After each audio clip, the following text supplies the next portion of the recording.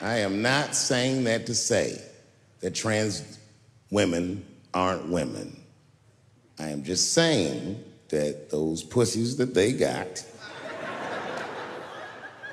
you know what I mean?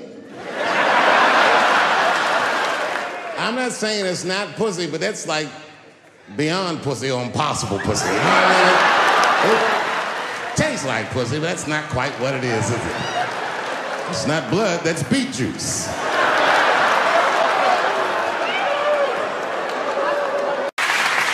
But I can't say the word faggot.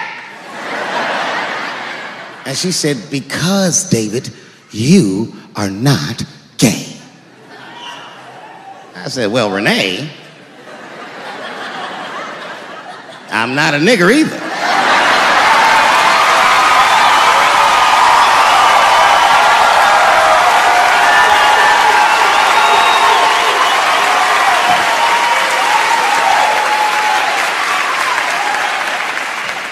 But you see, what I didn't realize at the time and what Kevin had to learn the hard way is we were breaking an unwritten and unspoken rule of show business. And if I say it, you'll know that I'm telling you the truth. The rule is that no matter what you do in your artistic expression, you are never, ever allowed to upset the alphabet people. You know who I mean. Those people that took 20% of the alphabet for themselves.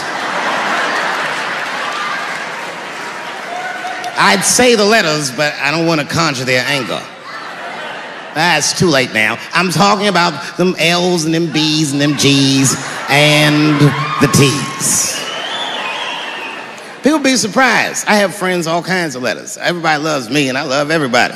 I got friends who are L's, I got friends who are B's, and I got friends who are G's. But the T's hate my fucking guts.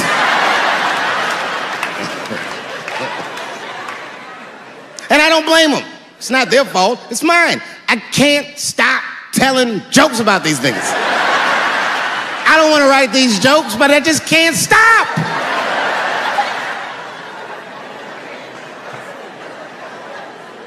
You know, you hear all those letters together all the time LBGT, LBGT, and you think it's just one big movement. It's not. All those letters are their own movement, they just travel in the same car together. and my guess is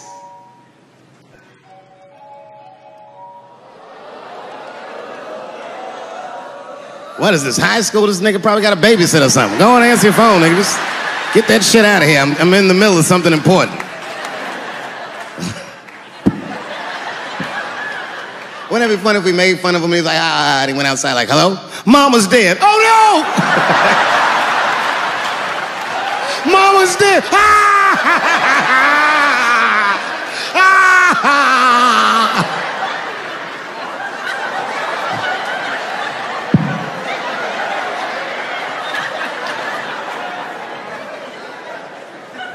That was a weird time phone call, wasn't it? It's like his phone is gay.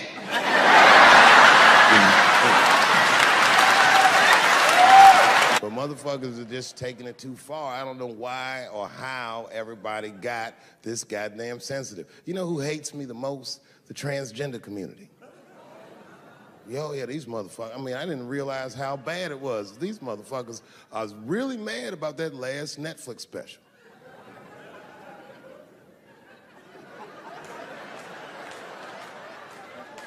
It's tough, man. I don't know what to do about it because cause I like them. I always have. Never had a problem with them. You know, just fucking around. As a matter of fact, I think I make fun of everybody. And I mean, as a group of people, they have to admit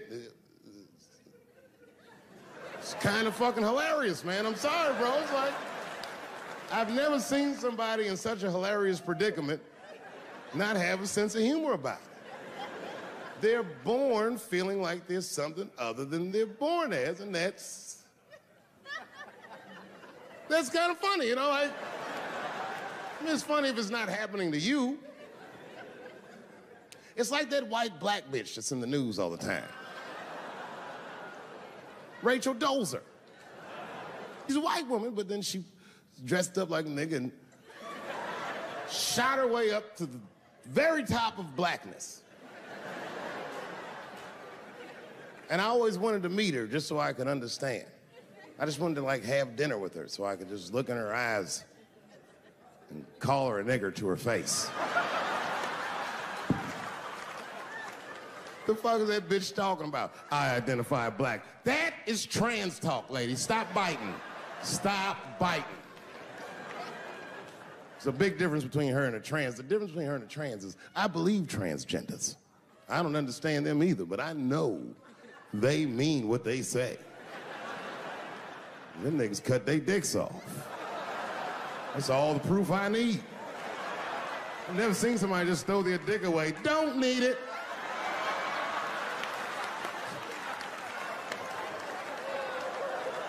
I don't understand, but I believe you and I support your decision, motherfucker.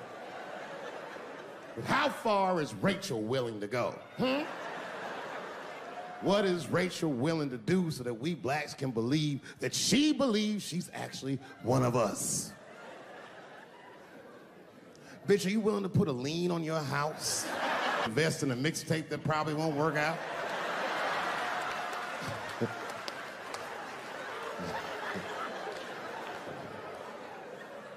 she didn't even change her name. Didn't even change her name. Her name is Rachel. I can't believe in that name. If you want my support, you're gonna have to change your name to the blackest shit I've ever heard. But you're gonna have to change your name to Draymond Green.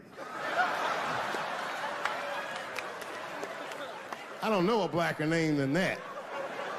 That shit is black on paper. If you type Draymond Green into Airbnb, that shit will log off automatically.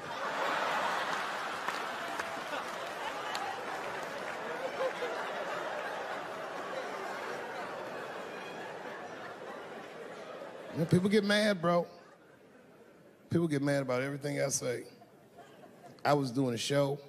I was in Portland, Oregon, and I was checked in a, a hotel under the name Charles Edward Cheese.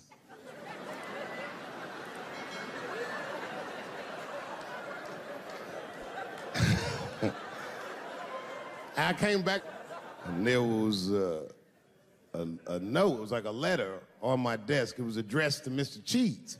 So obviously, I'm going to assume that whoever wrote this letter must be an intimate friend of mine. This is not some kind of name that a person would just guess. But then I open the letter, and it turns out I don't know this person at all. It's a fan letter. You know, I'm not even used to the idea that I have fans, but I'm grateful for it. And uh, and it, even though I, I'm grateful for fans, I I don't read those letters. Be nice if I did, but realistically, it's like, what am I, Santa Claus, Nick? I don't have time for this. Like, got shit I want to do. I'm trying to chill. Read all these dreams and wishes from strangers, but then, I, but I read it. I'd already opened it, so I just read the whole letter. And you know what, man? Whoever wrote this letter truly loves me.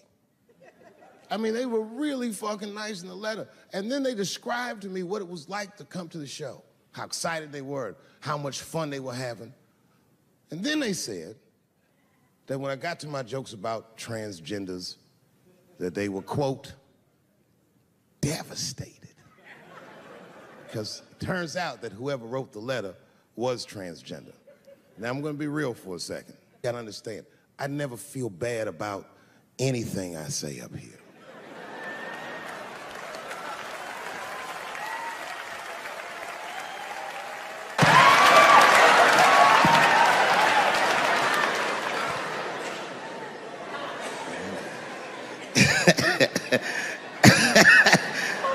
like I was saying, my guess is the G's are driving that car. That makes sense to me because there's white men in the G's. And these people are trying to get around uh, discrimination and oppression. And you know how white dudes are. We know these roads. In fact, we built these roads. The rest of you buckle up. We'll get you to where you want to go. So the G's are just driving the car. Course, next to the G's in the passenger seat is the L's. Everybody likes the L's, except for the G's. I don't know what that's about. I just know the G's don't like them that much. And the G's always say like little subliminal digs on them. It's unnecessary shit. It's not mean, but you know what I mean? They just be like, oh, I wouldn't wear that. The only thing that breaks the tension between the L's and the G's are the B's in the back seat. That's right, there you go. Everybody scream out when you hear your letter.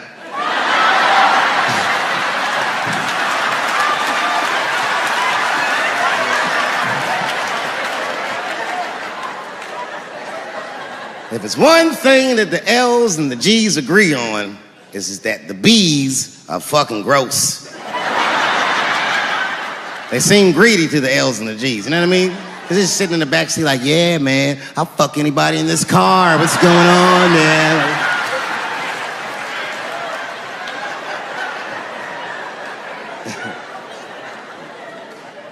and sitting next to the B's, all the way in the back seat by themselves, looking out the window. That's the T's. Everybody in the car respects the T's, but everyone also resents the T's. It's not the T's fault, but everyone in the car just feels like the T's are making the trip take longer.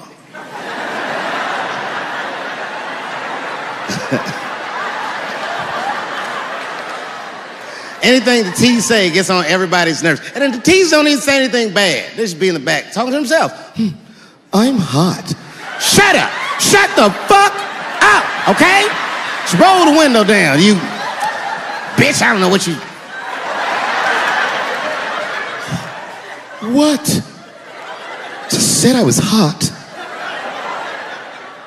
Could you pull over at the next exit? I need to use the restroom. There is not a restroom for you for four states, nigga. Will you just shut the fuck up so we can get where we're going?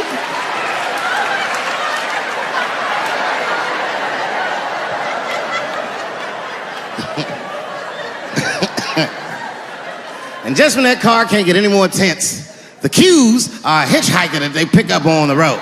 Some white dude in booty shorts is walking down the freeway.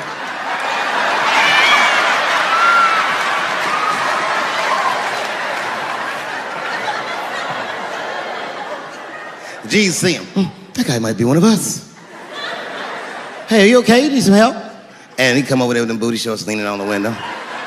Hey, what's going on, fellas? Lady? Whatever pronoun makes you feel comfortable in the back.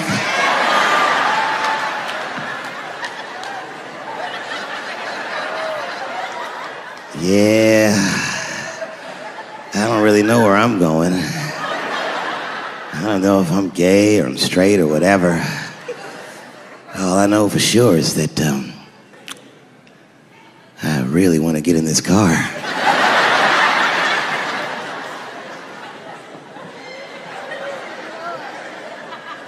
And they make him get in and sit in between the B's and the T's. I feel bad for T's, but they're so confusing. And it's not all my fault. I, I feel like they need to take some responsibility for my jokes.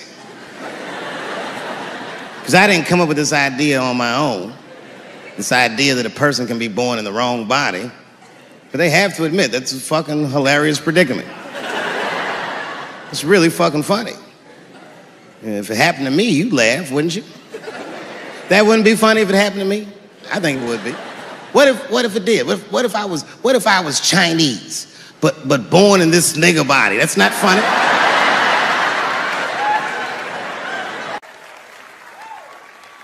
And I, I would never admit this to you if I hadn't locked your phones up. But it was the weirdest thing. Like when I read this letter, I, this shit made me feel bad. I didn't feel bad about what I said, you understand? I felt bad that I made somebody else feel bad. To be honest, I don't even know what I said that upset that person. I have so many transgender jokes.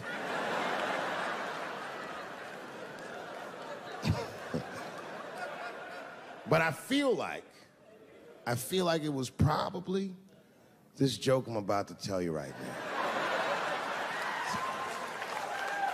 And it's not even that bad of a joke. It's a true joke. I mean, it's not true, but I, I, I had read in the paper that Caitlyn Jenner was contemplating posing nude in an upcoming issue of Sports Illustrated. And I know it's not politically correct to say these things, so I just figured, fuck it, I'll say it for everybody else. Yuck.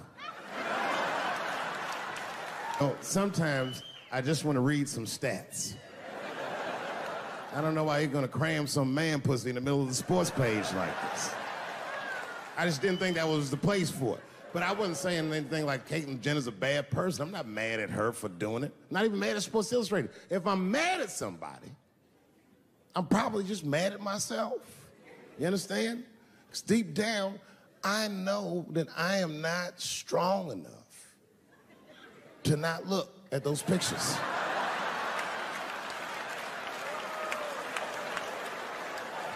And I don't think I'm ready to see what she's trying to show me. So, Caitlyn, God damn it, if you go through with this thing, bitch, you better go hard or go home. I want you to go all the way. Hustler style. Do you know what hustler style means, miss? That means spread the lips.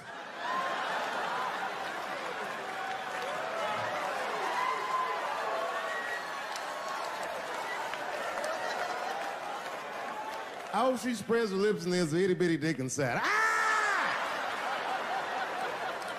The show is behind the curtains.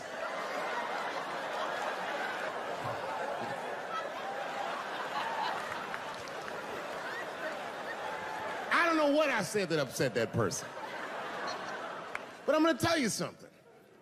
When I read that letter, and the moments after I read it, I did something that many black men in America do not have the time or the money to do. I thought about how I felt.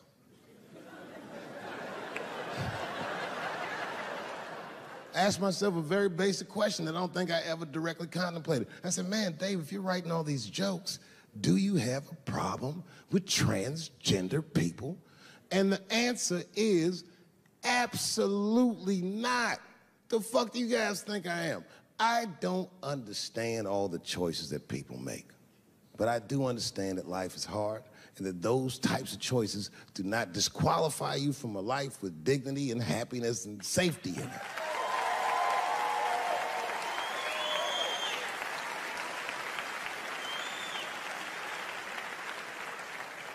But if I'm honest,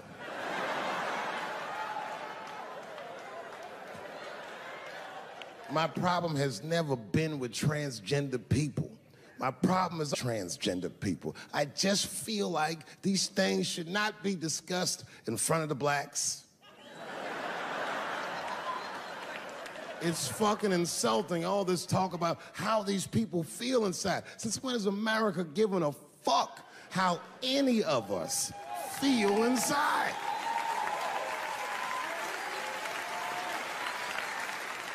And I cannot shake this awful suspicion that the only reason everybody is talking about transgenders is because white men want to do it. That's right. I just said that. If it was just women that felt that way, or black dudes and Mexican dudes being like, hey, y'all, we feel like girls inside, they'd be like, shut up, nigger. No one asked you how you felt. Come on, everybody, we have strawberries to pick. It reeks of white privilege. You never asked yourself why it was easier for Bruce Jenner to change his gender than it was for Cassius Clay to change his fucking name?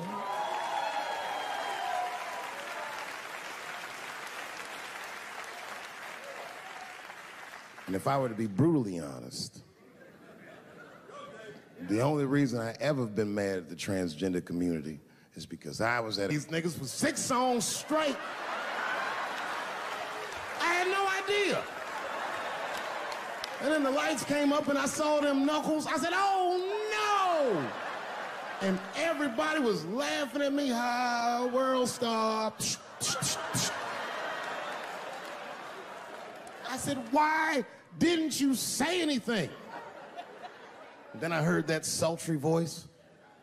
I didn't say anything, Dave Chappelle, because I was having a wonderful time. And I wasn't sure how you'd feel about it.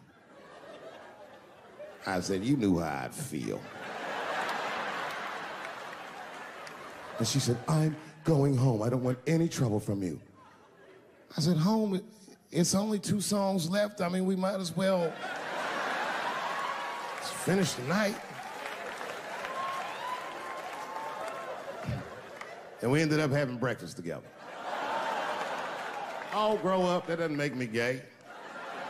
I just titty fucked her. Titties are as real as any titties in LA. It's two o'clock in the morning. I was just borrowing a little friction from a stranger. Whoops. Although Dave Chappelle, the black American, he was a little jealous. I was like, how the fuck are transgender people beating black people in the discrimination Olympics? If the police shot half as many transgenders as they did niggas last year, it'd be a fucking war in LA. Know black dudes in Brooklyn, hard street motherfuckers that wear high heels just feel safe.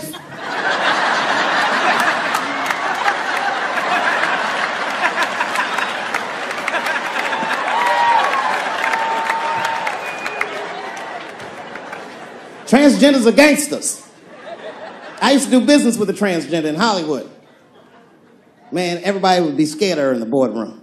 She walk in there, newly minted woman, high heels, purse.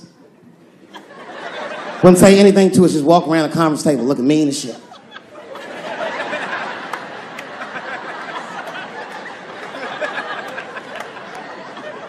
And then she walked to the head of the conference table, stare at us all, reaching a person, pull her old dick out and throw it on the table.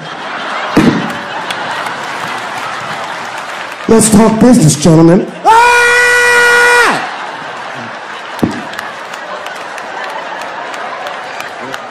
Shit is scary as fuck. If your best friend pitched that to you, you'd be horrified. Yo, nigga, let's go to the hospital and cut our dicks off and make pussies out of them shits. What? Can't we just get matching jackets or tattoos or something? Sure, that's what you want to do. There's only one way to find out, nigga. Wu Tang, bow, bow. Let's go to the club and trick niggas into fucking us. Yeah.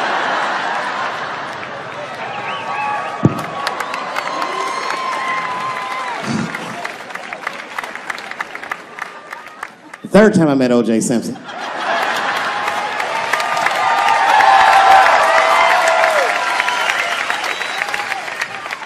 Third time I met O.J. Simpson, I was doing great in life.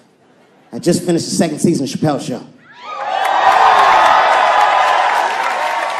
Man, those were good days. I was playing a comedy club in Miami, the Improv. I don't know if you've ever been, but if you have, you'd know. The door for the green room is right on the stage. Can you imagine such a thing? If I walked out of the door of the green room, bam, I'm just right here, right from the dressing room. And I did that. I walked out, and the whole crowd was like, hooray! And I looked, ma'am, as close as you are to me, I saw him as soon as I came out, the juice. and I saw recognition in his eyes, and it filled me with pride that he knew who I was. I didn't acknowledge his presence because it was a white audience, and I didn't want to start a panic. but I did my show. Show went great. I said, good night, everyone. They all said, yay! And I didn't say nothing to OJ, but I just gave him the signal, let him know I knew he was there. And I walked into the green room, and OJ was already in there. I was like, how the fuck is this possible? I was scared.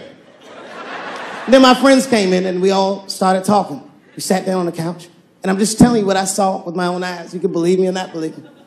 But in my experience, OJ Simpson, one of the nicest men I'd ever met. He was nice to me. He was nice to my friends. The conversation was filled with warmth and levity, humor, and wisdom. We talked for 90 minutes, and then suddenly the Juice said, You know what? I've got to be going. But it's good to see you again, and I'm glad things went so well. I said, Thanks, Juice. And my friend said, Yeah, goodbye, Mr. Juice. They're new to the game. he said, No, thank you for your hospitality. Good night, guys. And we said, Good night. And he just walked out of the room. And as soon as the door closed, we all looked at each other like, That nigga did that shit. feel, I feel, I feel like murder in the room.